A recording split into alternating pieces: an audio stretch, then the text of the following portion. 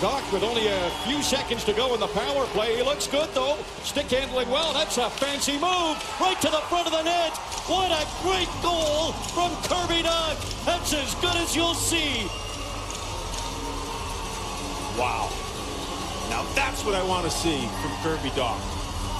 That's exactly what I'm looking for out of this young guy. You're talking about scouts here, Brett Leason, game one, this and that. Well, you know what? Kirby Dach looks up at the clock. He realizes that things are about to be even pretty quickly. So he says, I'm going to take this puck through neutral ice, and I challenge you, as I take it to the net, I challenge you to defend me. He gets around Pachal and he goes to the front of the net. He had that exact same opportunity last game and elected to try the wraparound attempt. Well, I love this. Take that cut, use that big body, go to the middle of the ice, and bury it.